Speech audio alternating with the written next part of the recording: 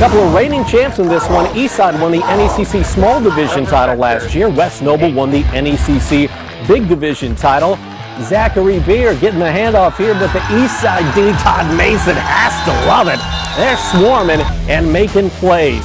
Of course, the offense is what a lot of people talk about when you talk about Eastside. Laban Davis, the junior, to Wade Miller with another great connection, almost a, a repeat that we saw last week in Monroe for your highlight zone gem of the night. And then Braxton Pruitt, one of the top juniors in the NECC. Yeah, the forced fumble recovered by West Noble. Where you're going to see Dylan Breedemeyer in traffic for the touchdown as Eastside making a statement with a nice 34 0 win.